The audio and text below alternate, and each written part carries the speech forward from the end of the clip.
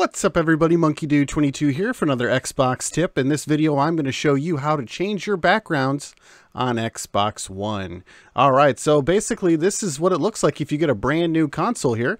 Uh, you can check out, see what's new on Xbox. Uh, of course, the first thing that you'll do when you go through the setup is you'll change your color. And of course, you can see that right here. But what if you don't want this uh, kind of grayish background here? What if you want something with a little bit more pizzazz? Well, what you're going to want to do is you're going to want to hit left on your controller and open up the guide.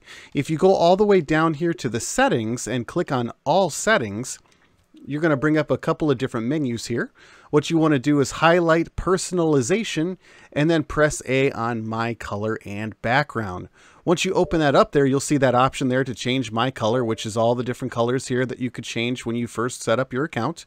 Or you can change my background or tile transparency. So basically this is all of those different tiles that were on the dashboard. You can change the transparency so you can see your background image a little bit better. But let's go into my background here. If you hit A on that, you'll have a couple of different options here. You'll of course have your achievement art, custom image, or screenshot. So let's take a look at achievement art real quick.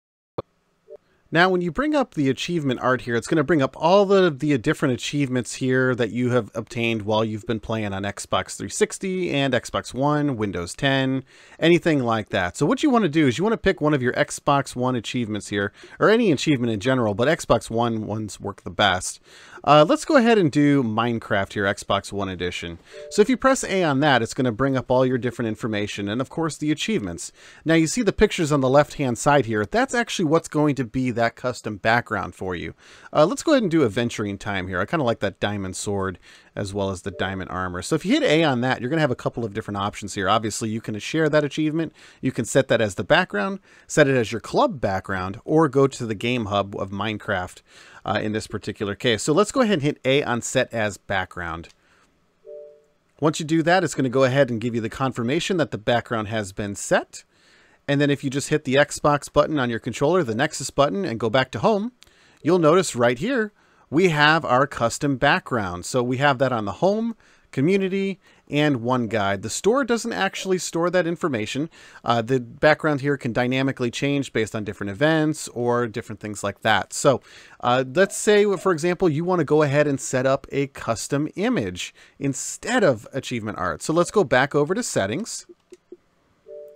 And then let's go ahead and do custom image. Now what it's going to do is it's going to load up the media player here and then uh, you're going to have basically the opportunity to plug in a USB flash drive onto the console and then you're going to be able to select that here. Once you go ahead and select the uh, image that you want, you'll have the option to go ahead and set that as a background. Let's go ahead and back up here real quick and let's take a look at screenshots to see what that looks like. If you hit A on screenshot, it's going to bring you over to your managed capture. So anytime uh, you do, for example, Xbox, take a screenshot, Xbox, uh, take a video, something like that, you're going to have all of these different captures here. And of course, these are everything that I have on Xbox Live. So let's go ahead and find an image here. Of course, you can see the Nickelodeon Studios ones that I do. Uh, I'm a big fan of Batman. I kind of like this one here, the kind of the 90s Tim Burton kind of Batman here. So if you hit A on that, it's going to bring up those same options. You can go ahead and share that picture. You can set it as the background, set it as a club background, rename it, delete it, or you can see more from this game, Batman Arkham Knight in this case. But we want to set this as a background. So same thing, just like the achievement art, go ahead and highlight set as background and press A on your controller. Once you do that, you're going to get the confirmation that the background has been set. Same thing, hit the Xbox button on your controller, the Nexus button, and go home.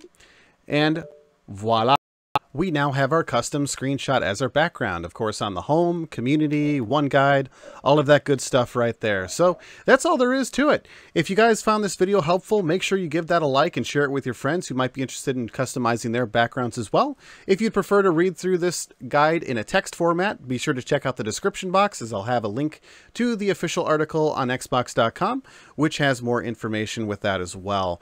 If you have any problems setting your achievement art or custom background or anything like that, make sure you take a look at that link in the description as well, because it has some additional troubleshooting steps that you can try to get that all working for you. With that said, I'm Monkiedude22. Thank you so much for watching this video. Be sure to give it a like if it was helpful, share it with your friends so that way they can get those custom backgrounds as well. And be sure to subscribe to the channel for more content just like this. I do a lot of Xbox support content, Nintendo Switch videos, as well as PlayStation and VR videos as well.